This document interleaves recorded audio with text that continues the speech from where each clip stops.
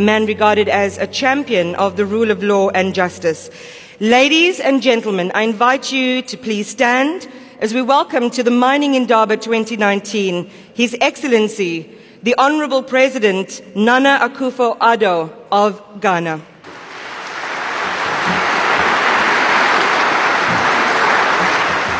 I'm honored by the invitation to participate in this famous gathering in the land of Africa's greatest personality, Nelson Madiba Mandela. Now in its 25th year, the mining Indaba has certainly made its mark as the authoritative place for an exchange of ideas and experiences on mining in Africa. The theme you have chosen for your deliberations, championing Africa's sustainable economic growth, is certainly attractive enough to bring to Cape Town all of us who have the transformation of Africa at heart. Ladies and gentlemen, with our continent having been blessed with so many minerals, it is not surprising that mining has always played an important role in our lives. For centuries, our minerals have been the attraction for adventurers and fortune seekers. Many foreign thrones and crowns are adorned with the gems taken from our lands, not always through straightforward means. Our lands have been fought over and shared and divided along lines that show no rhyme or reason. The pursuit of gold and other minerals has reduced many of our forests to degraded lands, some of our rivers to polluted water bodies, and diamonds from our lands are now sometimes labeled blood diamonds. It is no wonder, therefore, that some describe these minerals as curses instead of the blessing and good fortune they should be. The truth, however, is that mining is a necessity and not just an indulgence to satisfy aesthetics or curiosity. Mining has been an um, important undertaking throughout the history of mankind. Everyday life is dependent on the minerals extracted from underneath the earth. Today, most of the things that we use ranging from the smartphones we own to the coins we spend to the electricity we consume, emanate from metals and minerals that have been mined. The mining industry in many of our countries plays a critical role in our economies, providing considerable job opportunities.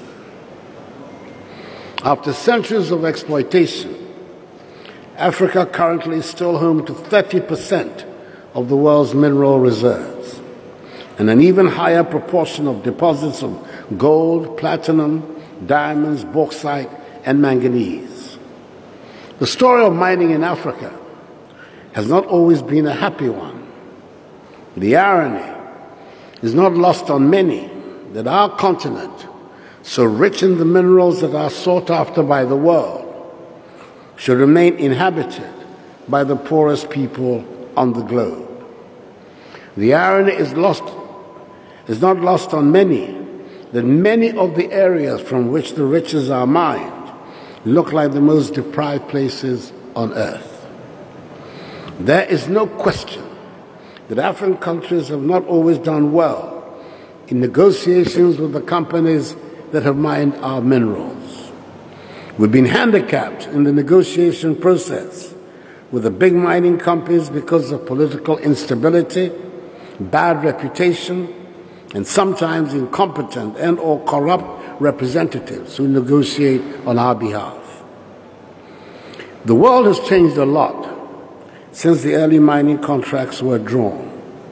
Today, we are a more politically stable continent and more committed to the rule of law. And thus, mining companies cannot and should not stick to the perception of the high risk politically unstable place to do business labor. Some labor practices that were tolerated 100, even 20 years ago, cannot and should not be tolerated today. The distinguished Venerable Festus Mogae, former President of the Republic of Botswana, speaking at a meeting of the Africa Development Bank 10 years ago in December 2008, noted that previously African countries had to entice investors by granting incentives such as extensive tax and royalty exemptions. Consequently, many countries earn little from such contracts. Ladies and gentlemen, I believe we have come of age, and we should not have to give unusual tax and royalty incentives, and mining companies should not expect to make extraordinary profits on our continent. We are realistic enough to know that companies that come to do business must make their profit. But we want to work with them under the normal conditions that pertain in other parts of the world. It bears repeating here what I have said elsewhere. Africa needs her own set of smart, tough lawyers, accountants, and engineers to negotiate the business deal in a transparent and honest manner. We must strike deals that are fair to both sides and can reassure the long suffering African people that they are no longer being unfairly treated. Reviewing mining contracts is important for more than earning greater revenue. Governments must also respond to pressures from civil society groups and communities to ensure that contracts and mining codes address environmental protection, adequate compensation to affected communities, and the rehabilitation of land after mining operations have ceased. Minerals are a public resource, and the negotiations between companies and countries should be transparent, accessible, and easily understandable by citizens. And that means we should do it all in language that does not need to be interpreted by experts. Communities should be able to examine mining contracts, finding out how much revenue has been generated, and how and on what it is being spent. Long and bitter experience means both sides, African governments and mining companies, have to work hard to gain the trust of the people. One cannot, ladies and gentlemen, discount the illuminating report produced by a high level panel chaired by the highly respected former president of this country, His Excellency Thabo Mbeki, which says that Africa is losing annually more than 50 billion United States dollars through illicit financial outflows. The report of the high level panel on illicit financial flows from Africa, commissioned by the Joint African Union Commission and the and United Nations Economic Commission for Africa Conference of African Ministers for Finance, Planning, and Economic Development revealed, in particular, that between 2000 and 2008, 252 billion United States dollars, representing 56.2% of the illicit outflow of funds from the continent, was from the extractive industries, including mining. And yet we know that the extractive sector, particularly mining, can help rapidly to grow Africa's manufacturing sector and be the champion of economic growth on the continent. That, of course, will not happen if Africa remains the place to come and dig minerals that are exported in their raw condition to be processed outside. We cannot and should not continue to be merely exporters of raw materials to other countries. The value chain of mineral extraction has great potential for job creation and can form an essential basis for the transformation of economies around the continent. We recognize the transparency and regulation of invested capital in junior mining companies underpin investment appeal. Over the years, our mining sector has been financed by capital markets on foreign exchanges. They have leveraged access to early stage investments to create significant wealth for investors offshore.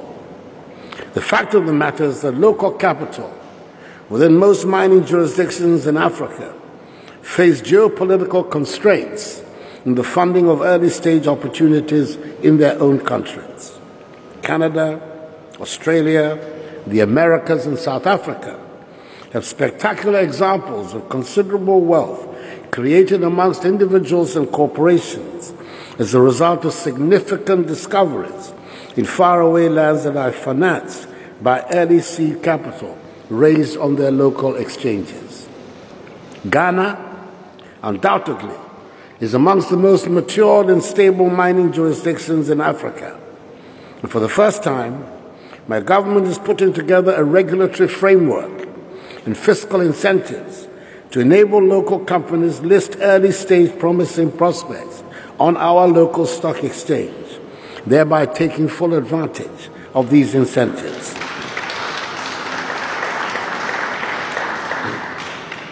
This will allow local capital the benefits of the upside in project development, enable it contribute effectively to the process of rapid economic development and transformation.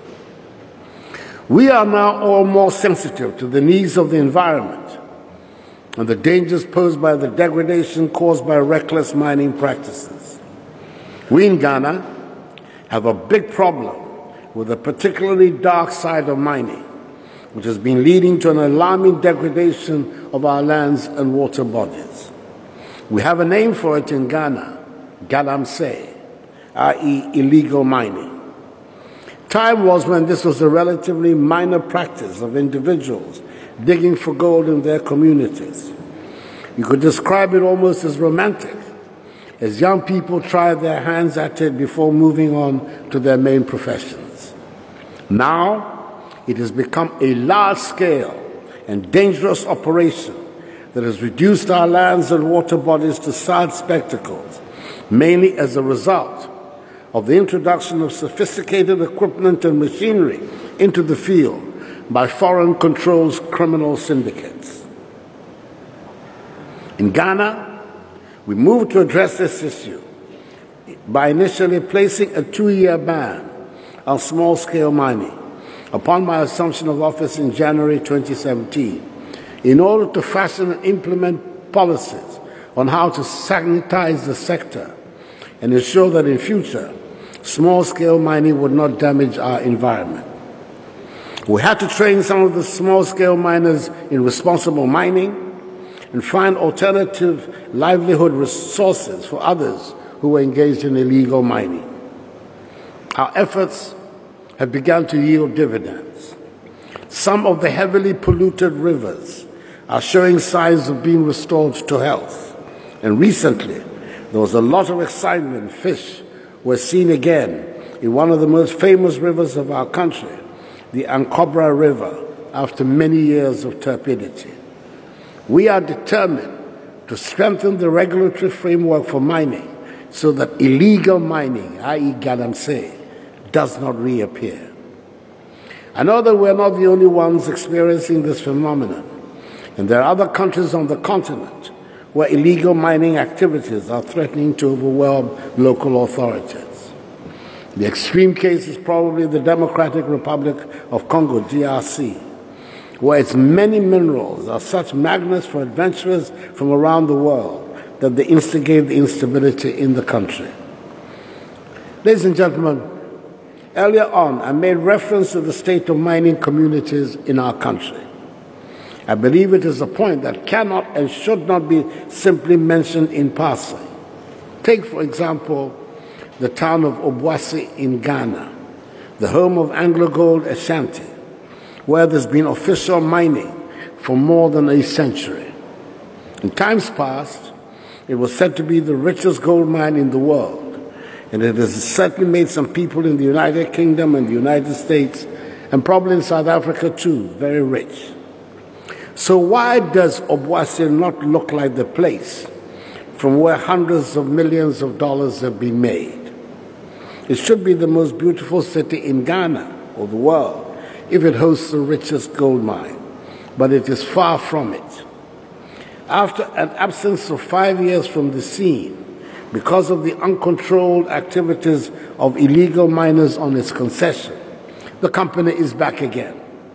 I had the pleasure of reopening the mine two weeks ago on the 22nd of January under an agreement that balances more fairly the interests of the two sides, that is, the government of Ghana and AngloGold Ashanti.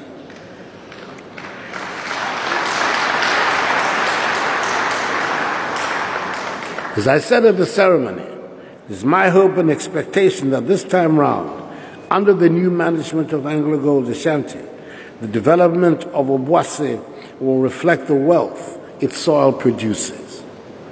Why is the Kono region of Sierra Leone, where a local pastor digging around his garden can still find a 709 carat gem diamond, not developed and prosperous? Why do towns from whose soils diamonds have been taken all these years not look like anything they produce riches? Why the mining com com communities generally in such poor conditions? The, st the state of communities in which mining companies operate is nothing short of a disgrace, and we must work to change that situation.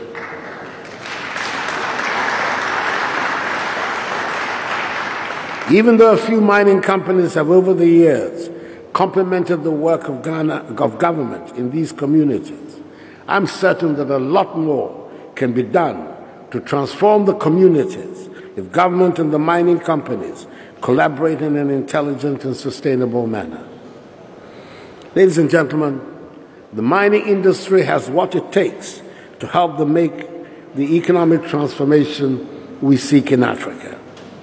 Go to any mine, and it is obvious you are innovators, you are persistent, and you have expertise. How else do you find the minerals you seek from the bowels of the earth? You are hard workers, and it shows in what you do.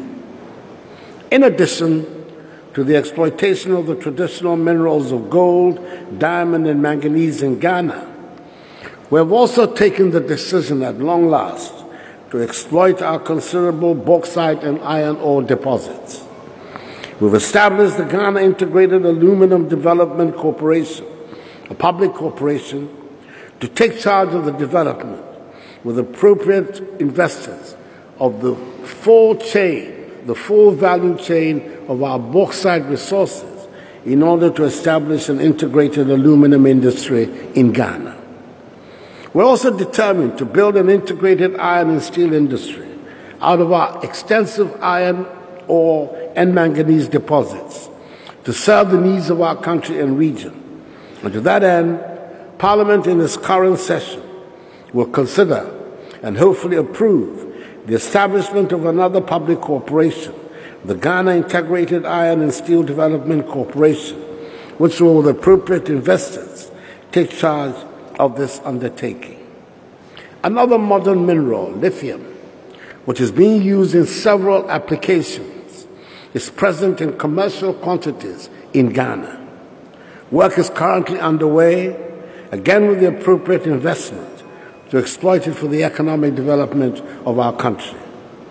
We hope to establish in all these new ventures an equitable balance between our needs and the needs of the investor community. It is time for the mineral sector to produce win win situations for all stakeholders. I do not need to tell you that there are undiscovered riches inside the bowels of the lands in Africa, but I want to remind you that there are riches on the, tops, on the top of the lands also in the form of a young, vibrant, and dynamic population who are anxious to work and who, with the requisite skills, represent an extremely positive factor in the rapid development of the continent. We want you to stay here for the long term, respect the land that provides the riches, and be part of the transformation. Africa has made the world rich with our minerals, our gemstones adorn, adorned crowns and homes around the world. It is time to make Africa prosperous and enable her people to attain a dignified standard of living. Join us in this exciting project for sustainable economic growth. The people of Africa do not have to be poor for others to be rich. The state of modern technology has made it possible, probably for the first time in human history, to establish a global economy which can generate shared and mutually reinforcing prosperity for all the peoples of the world.